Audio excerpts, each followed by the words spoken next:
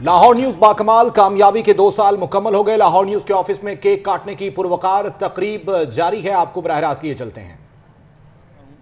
اور مجھے یقینی طور پر خوشی ہوتی ہے جب میں دیکھتا ہوں کہ ہماری جو آرگنائزیشنز ہیں، جو کامیاب آرگنائزیشنز ہیں، ان کو ہمارا یوتھ جو ہے لیڈ کر رہا ہے۔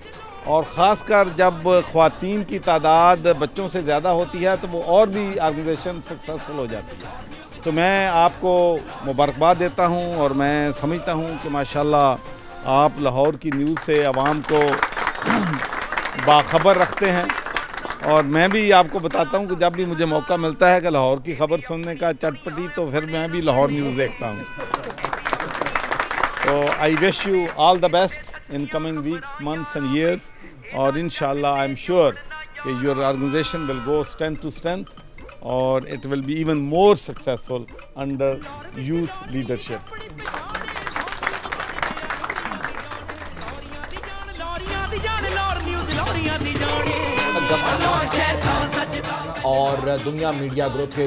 chief executive officer Mian Amir Mahmood کے کاٹ رہے ہیں۔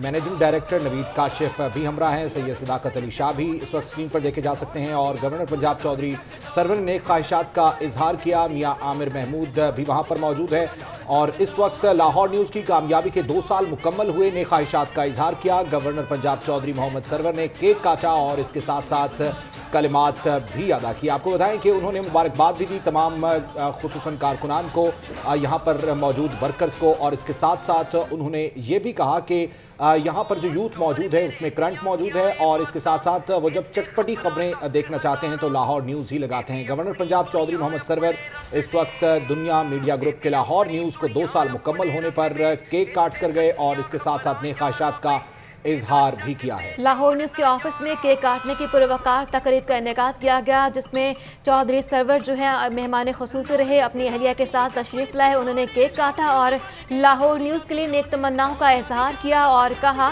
کہ آئندہ آنے والے سالوں میں بھی لاہور نیوز اسی طرح سے ترقی کرے گا اور ہم اسی طرح سے بڑھتے ہوئے دیکھیں گے۔ لاہور نیوز کے آفس میں کیک کاٹنے کی پروکار یہ تقریب کے مناظر آپ دیکھ رہے ہیں کہ چودھری محمد سرور اپنی اہلیہ کے ہمراہ، مہمان خصوصی رہے اور کیک کاٹا۔